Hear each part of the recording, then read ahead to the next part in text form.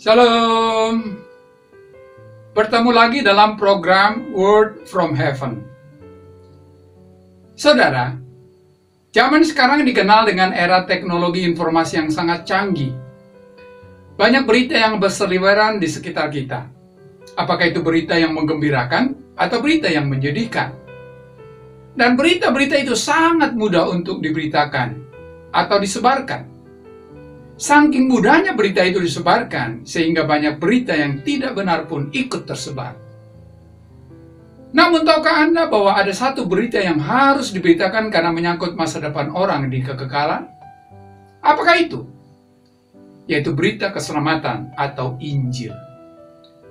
Saudara, dalam Roma pasal 1 ayat yang ke-16 berkata, Sebab aku mempunyai keyakinan yang kokoh dalam Injil, karena Injil adalah kekuatan Allah yang menyelamatkan setiap orang percaya.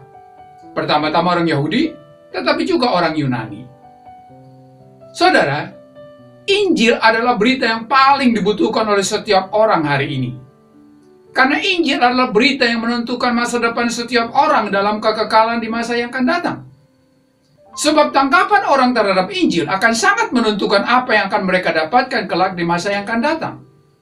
Apakah mereka akan mengalami keselamatan kekal atau hukuman kekal? Itulah sebabnya setiap kita harus memiliki komitmen untuk membedakan Injil. Mengapa Injil? Karena Injil adalah kekuatan Allah yang menyelamatkan. Saudara, Injil adalah berita tentang Kristus yang telah mati menggantikan upah dosa manusia. Dan berita itu adalah kekuatan Allah untuk menyelamatkan setiap orang yang percaya kepada Kristus yang adalah pusat dari berita itu. Allah telah menetapkan bahwa kalau setiap orang percaya kepada Kristus yang diberitakan dalam Injil, maka dia akan diselamatkan. Saudara, walaupun Allah adalah Tuhan yang Maha Kuasa, tetapi Dia telah menetapkan bahwa hanya di dalam Injil manusia itu bisa menemukan keselamatan. Karena tidak ada berita yang lain yang telah ditetapkan Allah menjadi sarana yang menentukan orang untuk sampai kepada pribadi Kristus selain daripada Injil. Karena hanya di dalam Injil berita tentang Kristus yang menjadi jalan keselamatan diberitakan. Dan itulah yang menjadi kekuatan Allah dalam menyelamatkan setiap orang, siapa pun dia, baik orang Yahudi maupun bukan orang Yahudi. Dan ruang lingkup jangkauan dari Injil adalah setiap orang, siapa pun dia, asal percaya kepada Kristus yang diberitakan. Saudara, ada seorang pendeta yang memiliki anak berumur kira-kira lima tahun. Anak itu sering kali ditinggal bapaknya karena pelayanan, dan biasanya dia diasuh oleh Simbo. Pada suatu saat, ketika anak itu mau makan dan hendak disuapi Simbo, dan Simbo sudah siap untuk memasukkan sendok ke mulut si anak, tetapi tiba-tiba si anak itu berteriak. Berdoa dulu dong, Mbok. Katanya sambil menjauhkan mulutnya dari sendok itu. Mendengar teriakan si anak, lalu si Mbok pun menjawab. Kan Mbok tidak bisa berdoa. Mendengar itu si anak pun berkata, Makanya bilang ke papa, biar papa ngajarin Mbok berdoa. Mendengar ungkapan si anak itu, si Mbok pun merenung. Dan lewat perenungannya, Allah menjamah hatinya sehingga dia pun ingin belajar berdoa. Dan akhirnya lewat keinginan itu, bapak si anak itu pun membimbing Simbo untuk percaya kepada Yesus dan diselamatkan.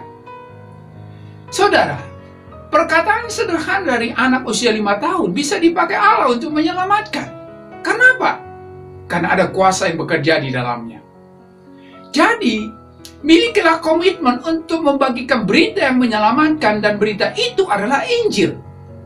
Pakailah setiap kesempatan agar orang-orang di sekitar Anda mendengar Injil. Ingatlah, banyak orang di sekitar Anda yang membutuhkan keselamatan. Mungkin itu keluarga, saudara, sahabat, atau rekan kerja Anda di kantor. Mereka menantikan Anda agar mereka dituntun kepada keselamatan yang datang dari Allah. Dan ingatlah, mereka hanya bisa diselamatkan kalau mereka mendengar Injil. Untuk itu, Mintalah kekuatan yang dari Tuhan agar Anda dipakai oleh Tuhan menjadi sarana untuk menyelamatkan orang lain. Allah bisa memakai Anda, siapa pun Anda, dan apa pun latar belakang Anda untuk menjadi Allah di tangannya dalam menjangkau orang lain, asal Anda bersedia Allah pakai. Sebab Allah tidak mencari orang yang mampu dan sanggup, tetapi orang yang bersedia untuk dimampukan dalam memberitakan berita yang menyelamatkan itu.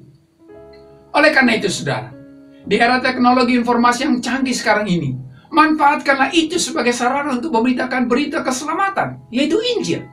Karena Injil lah yang paling dibutuhkan oleh manusia bagi keselamatannya. Sebab tidak ada berita yang membawa orang ke sorga kecuali berita tentang Kristus yang harus dipercayai. Dan itu ada di dalam Injil. Mari kita berdoa. Terima kasih Tuhan untuk keselamatan yang Tuhan sudah sediakan bagi kami. Di mana Kristus telah rela mati bagi kami, menggantikan upah dosa kami. Dan itulah berita terbesar yang perlu didengar oleh setiap orang di dunia ini.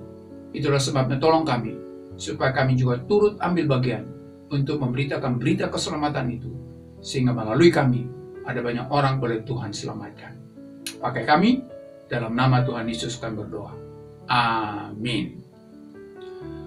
Jika Bapak Ibu merasa diberkati oleh firman Tuhan ini, silakan teruskan video ini kepada keluarga dan kerabat Bapak Ibu. Tuhan Yesus memberkati.